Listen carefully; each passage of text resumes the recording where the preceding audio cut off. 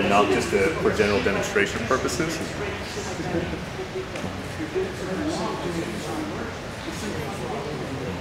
So a few things that I actually forgot about this.